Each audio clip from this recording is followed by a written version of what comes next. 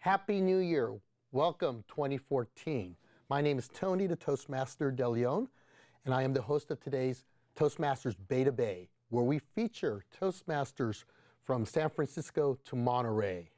Today we have a great show. These are speakers that I've seen in speech contests, and I find it's a great way to learn from others and also get entertained. Our first speaker today is working out of the Competent Communicator Manual, and the project is called Your Body Speaks. Our first speaker speech is called One Monday Night. Let's please welcome Cody Cotulla.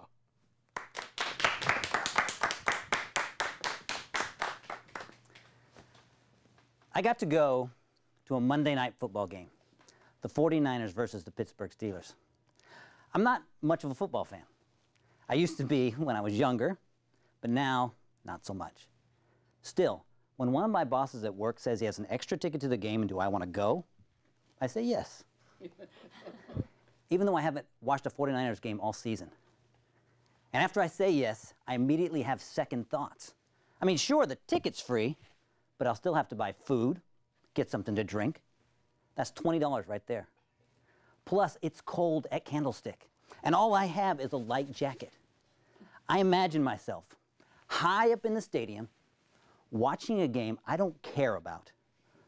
Cold, hungry, miserable. Man, am I wrong. These aren't regular tickets. These are corporate tickets from a vendor that we do business with. Each one comes in a plastic holder with a lanyard attached so that you can wear it around your neck. The guy at the gate doesn't even inspect them. He just waves us through. And once inside the stadium, we don't go up, we go down toward the field. Down, down, down, down, down. I keep expecting somebody to stop us, but nobody does. We reach the last row of seats. There's a chain and a guy on a yellow windbreaker with security printed across the back. He lifts the chain, and a smiling woman in a blue fleece jacket pops up. She introduces herself as Barbara and thanks us for coming to the game. She thanks us for coming to the game. we step past the chain, and Barbara leads us down the stairs into the suite. And it's like descending into a kind of sports fan fairy tale. She points to a tunnel at our left and says, That leads to the locker room. Make sure and stay out of the way when the players come out. There's a bartender serving free beer and other drinks. There's a row of silver warming trays filled with stadium food. We walk past the bartender, past the food, climb a short set of stairs, and emerge at field level. The goalposts loom above us. We are 10 yards from the end zone. This is where we'll watch the game. But before that, Barb says that we can walk around the field if we want. I do want.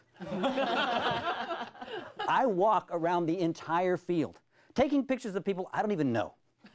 Any big guy, in case he might be somebody famous. I take pictures of everything. I even take pictures of the little camera that runs on wires and zooms all over above the field. Back in the suite, there are other people along with me and my coworkers. Some of them act like being there is no big deal. I don't even try to play it cool.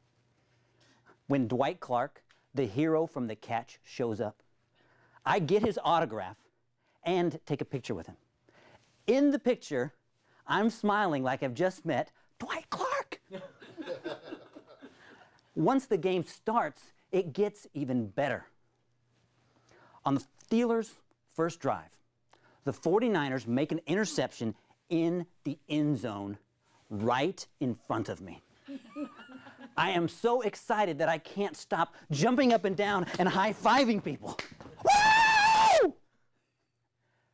During the television timeouts, the cheerleaders come out and they dance right in front of us.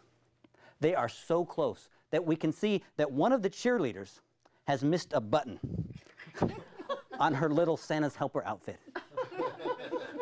My boss is so drunk by now on the free beer that getting this cheerleader to fix this sartorial mistake is his highest priority. button! You missed a button! It's like a dream. At this one moment, you have everything that you want. There are thousands of people in the stadium around you whose lives at that moment are not as good as yours. you have everything that you want, and there are still people in blue fleece jackets coming up to ask if you want something more. More food? More beer? Can I get you anything else? No. Everything is perfect.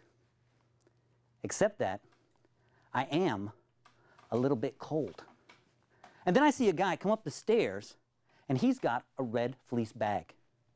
He opens the bag and pulls out a fleece hat, scarf, and gloves. And I think to myself, hey, how come he gets that?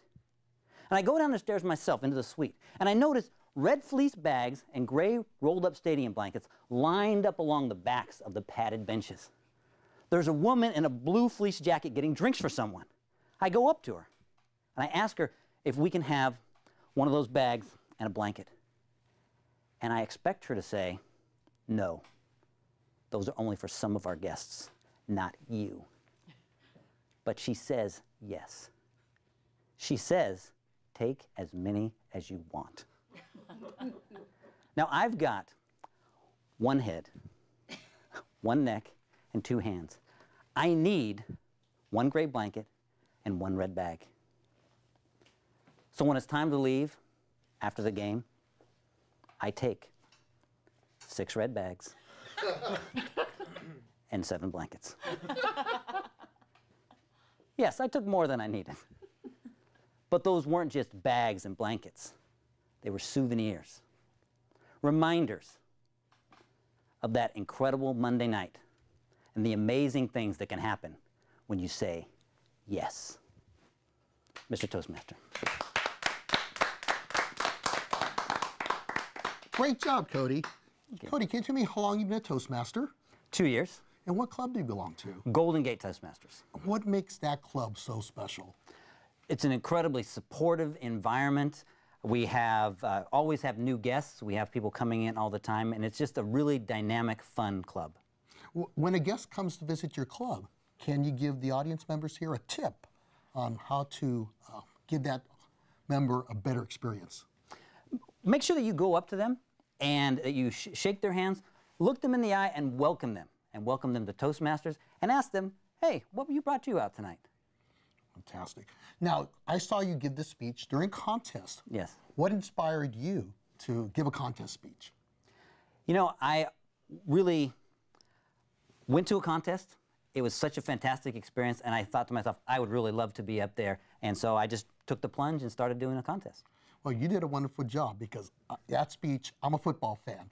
So you had me, and I'm the person that sits way up there. So to hear about that experience is wonderful. Thank you very much. Thank you.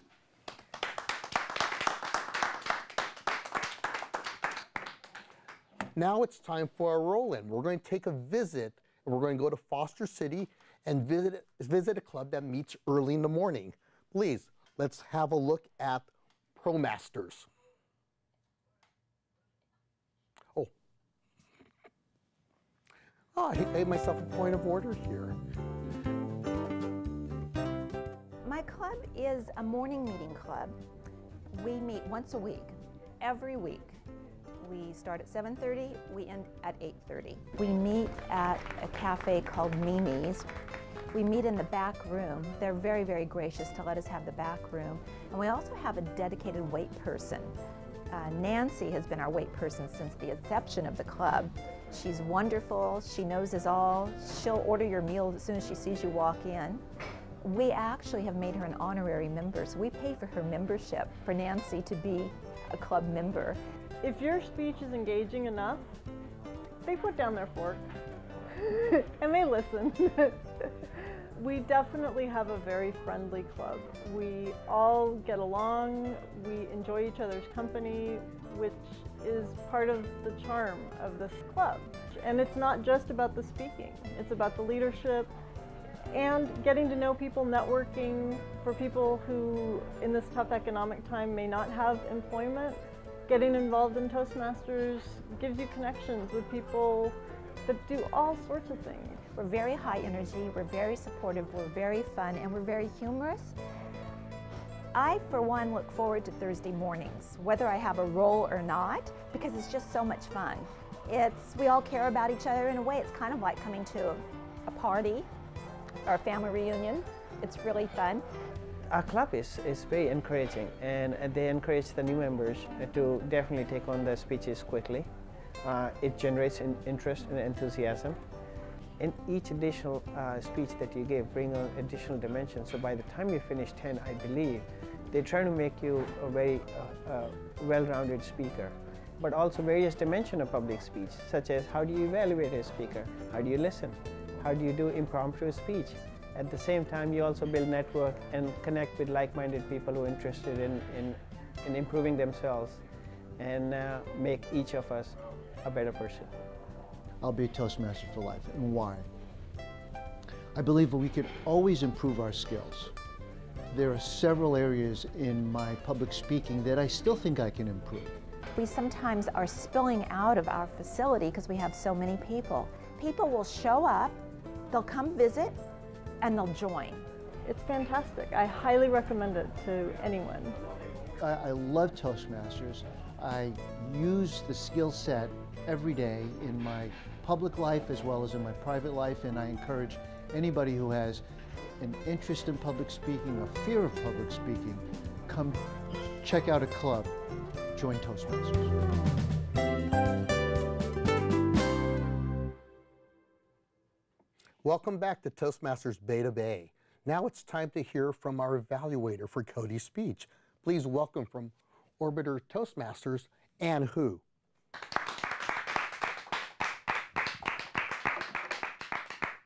Thank you, Mr. Toastmaster, fellow Toastmasters, and Cody. Wow! A Monday night, what a day to spend a time to be a VIP in Candlestick Park. That's like one of the lifetime experiences, and you felt so special. We have a great year for 49ers, and this is just in time for that cheers and the excitement and all the benefits that things that you had such a great time and you were so animated. The speech topic was just great, and you had a vocal variety that was uh, up, down, and then especially the moment when you saw the cheerleader with the button that was missing, that made me feel like I was just there, right there with you. There are something that can be improved upon. They're always, even for professional speakers. I thought that the hand gesture you have could be a little bit, a little bit more dramatic because you were out in that big football field. And then especially when you met Dwight Clark, you had his autograph. All that excitement, I thought you could have used the stage here a little bit more, walk around a little bit more, talk about the excitement you had, and then come over here with some other adventures you have, and then plus all that bags of goodies you have to take home with. Wow. You sure are a seasoned Toastmaster. You brought us there. You made me feel like I was there right with you. And you were such an animated presenter. I really enjoy your speech so much. And no wonder you were competing at the speech contest. And I look forward to seeing you in future speech contests. Mr. Toastmaster.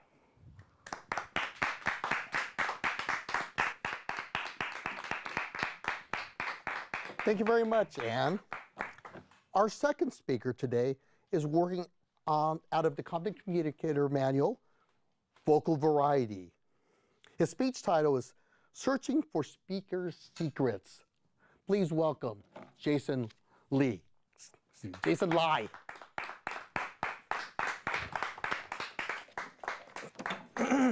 Hi. Uh, good evening, everyone. Um, oh, shoot, I messed up. Can we redo that? Uh, wait. Uh, one, one sec. Can you just give me one second?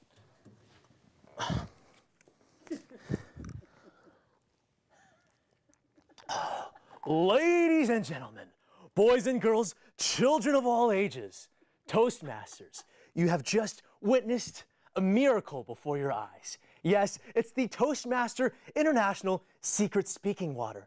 It turns any boring, baffling buffoon into an articulate, eloquent, and might I add, dashing individual. This can be yours for five easy payments of $49.99. But because you're here today at the Beta Bay Toastmasters channel, you will get it for two easy payments of $29.99. Any takers? Not found on QVC. Nope, not on the Home Shopping Network. Only here. Anyone? All right, okay. You caught me. There isn't this Toastmasters secret speaking water. But I realize that many of us are in search of this speaking secret. Some of us join Toastmasters for very honorable reasons. Oh, yeah, I'm an engineer in the Silicon Valley and I just want to learn how to present technical data to people. Um, and then, yeah, I'm a manager, so I want to learn how to speak to my direct reports. I want to learn how to speak to my kids. And then there are some of us that join Toastmasters for not so venerable reasons. "Yeah, I got nothing better to do. um, yeah, the season of Dancing with the Stars, not so good. Um, yeah, I just want to learn how to speak to girls, actually. Um, and my favorite was when I asked my friend if he wanted to go to Toastmasters. Well, duh, bro. What do you take me for, an idiot? I love toast. but tonight, I want to tell you how I came about joining Toastmasters. It was a sunny spring day of my senior year, finished my finals. Everything was happy go lucky. Then all of a sudden, this cowboy comes up to me. Well, excuse me, sir. I ain't from around here. And my granny, she ain't doing too well. Do you mind sparing a couple dollars so that I could go see her? Um, hold on. Let me let me check. Let me see. Uh, I only have a 20. Well, well, with all due respect, sir, that'll do. You certainly are a gentleman and a scholar. And might I add, a dashing feller? Well, you know, in my heart, I was about to say, I only have a 20, so you can't have it. But after his spot on evaluation of my character, who could resist? So I gave him the 20, along with one of those politician nods and Tom Cruise smile. All right, this small change is a big change for us all. The next day, my roommate came up to me and he said, Jason, Jason, you gotta take a look at the newspaper. It's about you and the cowboy.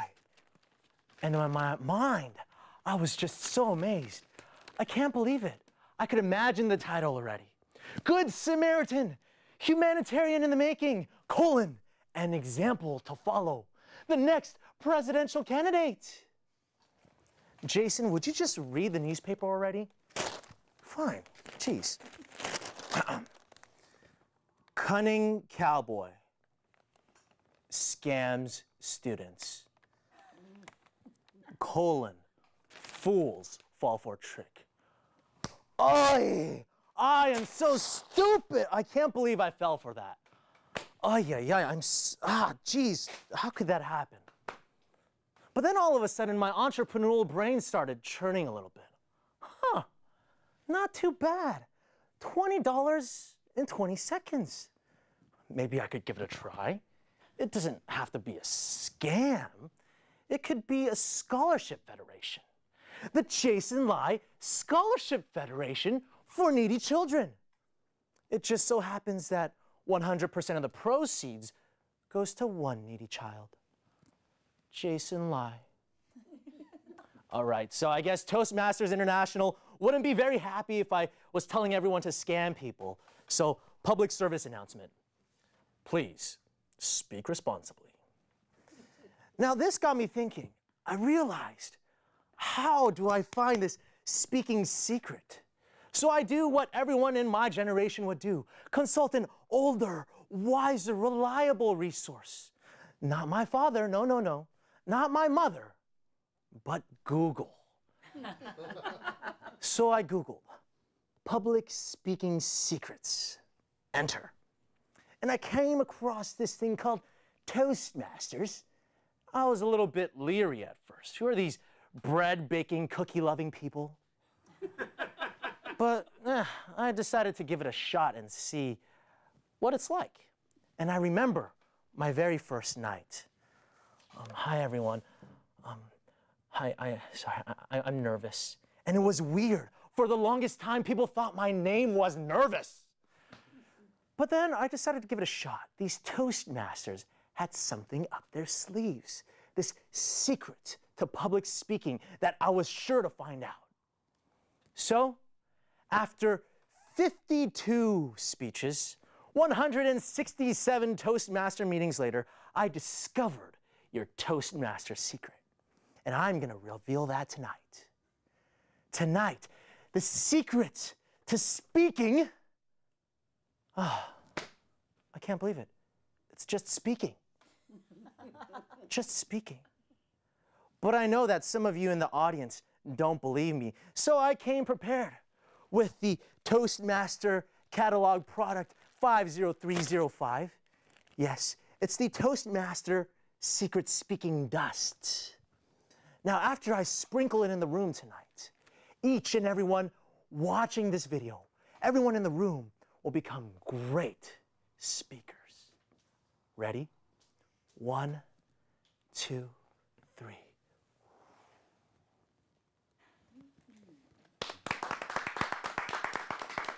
Get some of that dust.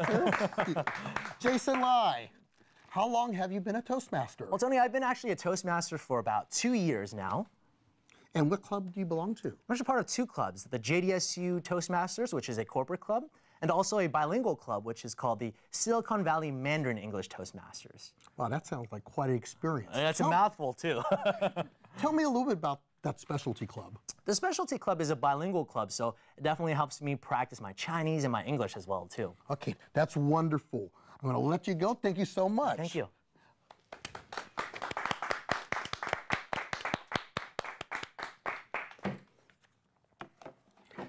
Thank you for attending Toastmasters Beta Bay. If you want to learn a little bit more about Toastmasters in District 4, d4tm.org.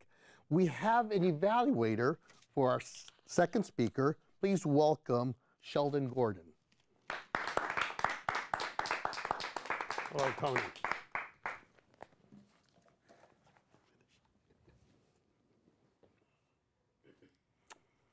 I got to say, I have been with Toastmasters 10 years.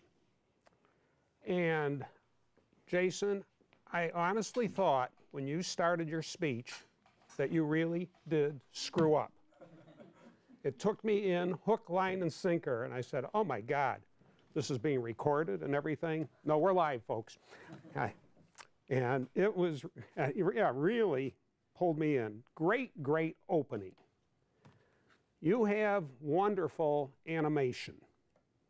You have a strong voice. I think you desire to be an actor. I see Hollywood in your future. Boy, I loved your, you know what I made your speech special? Your animation, the way you presented it, but number one, what is the heart of any good speech content. You didn't write this speech in 10 seconds. You spent a long time crafting this speech. I, my guess is you spent many hours writing it out longhand, tweaking it, tweaking it again, like any true professional will do. And I'll bet you even thought of other things that could make it a little better, and better yet, and you have tweaked this to perfection. I got to say, it is one of the most fun speeches I have ever seen. Only things that I would say is every now and then, the big secret to public speaking is pause. So if once in a while, between your routines, after you've done this, just stop for a full second. It makes everyone so nervous. I've got to say, I want to thank you for your wonderful entertaining, and I just want to know where the word oi is in Mandarin. Thank you so much, Jason. I appreciate it. Thank you very much, Sheldon.